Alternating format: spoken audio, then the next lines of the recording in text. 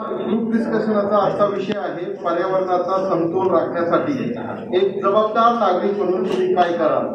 यावरती आपल्याला group discussion करायचं आहे. पर्यावरणाचा समतोल राखण्यासाठी आपण काय करू? तर ज्या नैसर्गिक साधन संपत्ती आहे याचा बेसुमार वापर आपण करत आलेलो आहोत. हा वापर आपल्याला कसा टाळता येईल? असे अनेक मुद्दे आहेत. आणि या विषयावर मला तर वाटतं की आपण दोन दिवसापूर्वीच काही डिस्कशन केलेलं होतं. आपण क्लासमध्ये याच्यावर काही शिकलेलो आहे. त्याचाही तुम्हाला उपयोग होईल. तर आपला विषय आहे पर्यावरणाचा समतोल राखण्यासाठी आपण काय करू?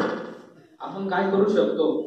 पर्यावरणाचा समतोल राखण्यासाठी आपण आपल्या परिसरात कचरा करू नये. कमी अंतरावर जाण्यासाठी सायकलचा वापर करा.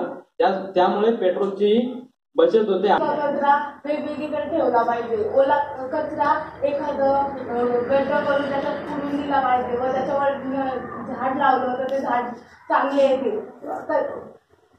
कोरडा कचरा हा बाजूला काढलेला असला तर तो कचरा कोरडा कचरा जाळून टाकला तर त्यातील कचरा याच्यामध्ये नाल्यामध्ये किंवा नद्यामध्ये टाकतो तर ते तसं करायला नाही पाहिजे. घरातील कचरा घंटा गाडीमध्येच टाकला पाहिजे.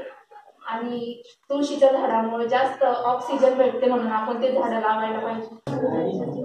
आपण झाडे लावायला पाहिजे झाडाला पाणी घालायला पाहिजे आणि जे दुसरे झाड तोडत असेल त्यांना थांबवायला पाहिजे.